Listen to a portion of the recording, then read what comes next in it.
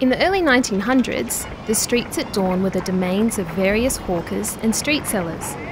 As a child, you would wait to hear the sounds of horses' hooves and cartwheels on the woodblock streets, and the hawkers' cries as they called out advertising their wares. Milko! Rabbit-o! Rabbit for sale! Rabbit-o! Milko! An iceman would stop by in his horse and cart to deliver a block of ice for the ice chest.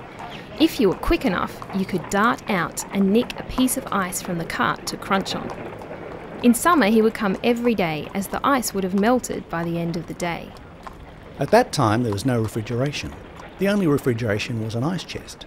The ice came first thing in the morning. It was delivered in blocks. The iceman used to wrap the block in a hessian bag and tuck it under his arm and run in and put it in the ice chest.